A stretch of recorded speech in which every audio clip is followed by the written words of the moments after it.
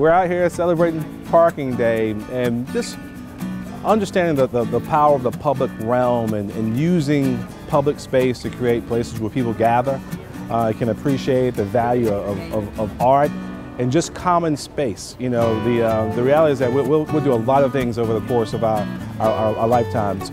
Um, some things will, will, will come and, and go, but the ways in which we influence the public realm will dictate how our citizens interact 10 years from now, 20 years from now, 30 years from now, and showing how creative we can be to make these places special is what we're doing here today at Parking Day. Main Street is a perfect example of how a limited amount of public investment can spur incredible uh, private sector and, and philanthropic in investment.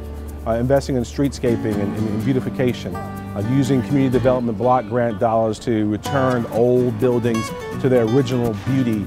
Uh, it, it, it's, it's, uh, it's led to um, close to a billion dollars of private sector investment on our main thoroughfare. And I think it's important because regardless of where you go in this country, people want to know what Main Street looks like. They might not be able to pronounce Gervais Street or Huger Street or wherever you happen to be um, across America, but people know what Main Street is and to make a, make a judgment call about the historic, cultural, business corridor of a city, if the city is alive and, and thriving or, or, or, not so.